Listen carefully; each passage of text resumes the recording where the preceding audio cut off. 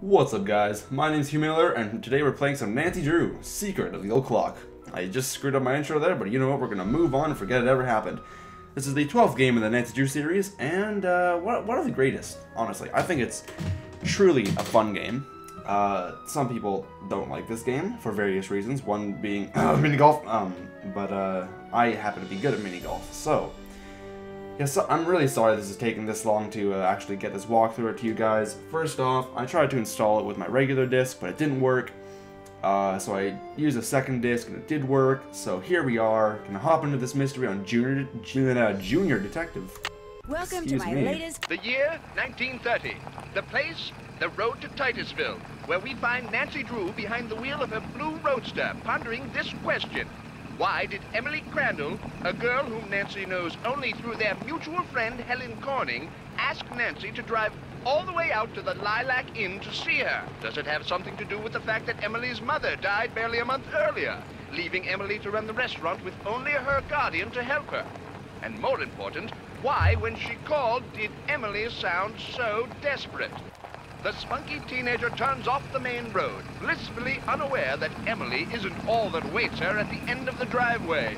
No, Nancy Drew is about to get her first taste of the mystery, intrigue, and adventure that are to become her destiny. Man, so my computer just started running like a lot harder than it used to. But uh, so here you're at the Lilac Inn. Let's uh, hop into this house and talk to this person. Well, hello. Hello. I'll bet my bloomers you're Nancy Drew. That's right. Who are you? That's right. Are you Emily's guardian? You got it. I'm Jane Willoughby. I'm Emily's guardian, but only for the next three months until she turns 18. Then she's on her own. Ooh. Mmm, it smells like someone's been baking pies. Pies oh, dude, are the strawberry Lilac Inn specialty. We get orders from all over. Oh, that reminds me, your father called. You're supposed to call him. You can use the coin phone on the porch. All right, thank Emily you. didn't say anything about you coming until just this morning. Really? Oh, well, I'm here, and I'm singing, and I'm here. She didn't? Don't get me wrong, she can invite anybody here she wants. It's just that she's gotten so darn forgetful lately. Maybe she's just, you know, still thinking about her mom. She misses her mom, that's for sure. So do I. Gloria and me, we were best friends, you know? The Oh, two yeah. of us ran Oh, yeah. this swell little dress shop over in Capital City. But then she got hitched and I didn't. And the next thing I know, she's writing me saying it would sure take a load off her mind if I could take care of her little girl should something ever happen to her. Well, where's where's her daddy? Where's her daddy-o? Emily's father. Died in the war. Ooh. Cantigny, I think. Ooh. Anyway, I couldn't say no. I mean, what are best friends for? I just wish I knew how to help Emily. What do you mean? Is she, like, not okay? I mean, yeah, I mean, she's, like, forgetting stuff, but... What? You make it sound like she's in some kind of trouble. She's been acting so. Look, go talk to her. She probably just needs to spend some time with a bear cat like you instead of some dumb Dora like me. Go on up, she's in her room. Just make like a Boy Scout and be prepared. Okie dokie. Well, let's go upstairs and talk to uh, Miss Crandall. Miss Emily Crandall. And Nancy doesn't even knock, she walks right in like she owns the place. Hello. Nancy, hi. Welcome to the Lilac Inn. Oh, and before I forget, thank you for that nice note you sent me when Mom died. Oh, it no meant problem. a lot to me. Anytime. Well, I lost my mom too, years ago. I kind of know how you feel. No silence bite. You and I may not be best friends or anything, Aye, aye, but you're still bite. one of the nicest people I know. Oh, well, thank you. I get that comment every day. I mean, not really, but I get told often that I'm Well, a, a nice you. guy. So That's why I'm hoping you'll do me a favor, a big favor. You and your dad. my dad. What do you mean? My dad? Helen says he's a lawyer. Shh. What? What's wrong? What is it? I thought I heard something. The music. Your father has a safe, right? Oh, yeah, dude. Even I've got a safe, man. This is 1930. Lots of people have safes. See this jewelry? I'd like you to take it home with you and put it in your father's safe. Ooh. It's Beautiful. It was my mother's. The few times I saw her wear it, she looked just like a movie star. I was hiding it here in my room, but all things considered, I'd feel a lot better if you would just take it home and have your father lock it up in his safe. What about what about Jane? What about your guardian? Can't she take care of it? Oh, I don't want her to know I'm doing this, so don't tell her, all right? See, strange things have been going on around here. That's all I can say. I know it sounds things loony, and Jane probably told you that I've been acting them loony, but please do this for me. Oh my, what the heck? What was that? Emily, come downstairs, quick! The kitchen's on fire! What? No more pie? We better get out of here. No! Oh, I, I wanted some pie. Oh, I'm so sad now.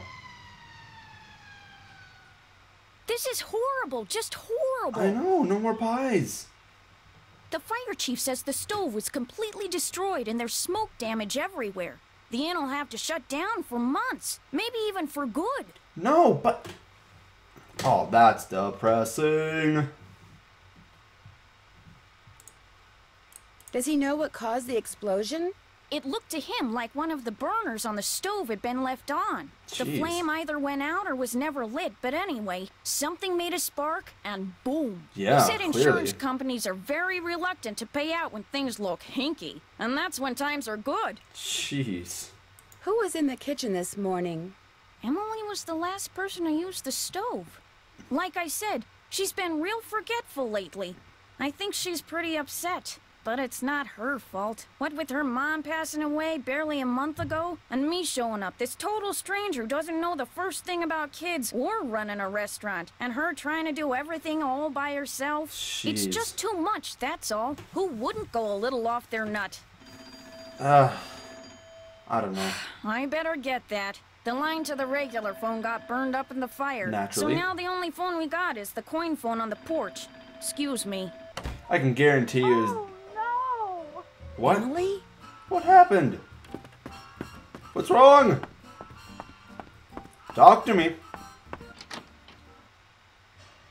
My mother's jewelry. It's gone. Someone What? must have stolen it while we were all downstairs.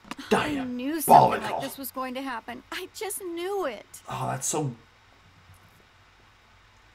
No, that's not okay. You mean this sort of thing has I was gonna say something really bad and mean, but I Yes. decided I mean, not to. no. I mean, I'd rather not say, but I will say this. I did not leave the stove on. That fire was not my fault. Oh, what am I going to do? Without that jewelry, I don't have Mm. a prayer of paying for a new stove, and without a stove, I'll have to sell the inn. Oh, my. And if I lose the inn, I wish Mom were still here.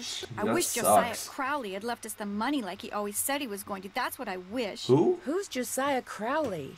He was this old man that lived next door. He died last year. Aw. He spent most of his time here at the inn, and he led my mom and me to believe that he'd left a lot of money for us in his will. he didn't? gave us a clock. And afterwards, he'd always point to it and get this little twinkle in his eye and say, Time will tell. But when they finally found his will, he didn't leave us a penny. That's not very nice.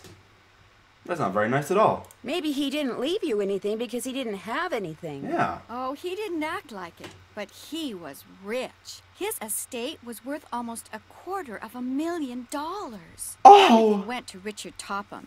He's this man who claims to be able to help people develop their paranormal powers. Jeez.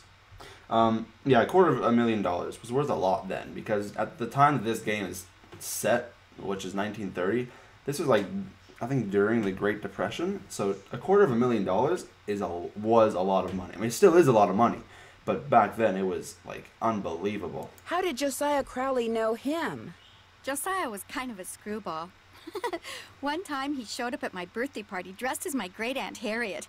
I didn't know it was really him until two days later. Anyway, he had all these weird hobbies, and he always thought it would be really keen to read minds. Josiah invited Richard Topham to move in so Topham could help him develop his paranormal powers right there in his house. Huh. Josiah was a sweet old man, and I do miss him. And he was free to give his money to whomever he wanted. But to get our hopes up like that, and then leave us nothing, it just wasn't like him. Yeah, that's honestly pretty stupid. It's like here, I'm gonna give you guys a lot of money, and then and then and and then he dies, and there's there's nothing. Where is Richard Topham now? He still lives in Josiah's house, which is right down the path out back. His house and the inn were built at the same time by two brothers during the Civil War. Do you do you guys think Topham could have mind Jedi mind tricked what's his name Josiah Crowley into leaving all the money for him? Because that'd be really, really, really low and shady of that guy. Was your mother's jewelry insured?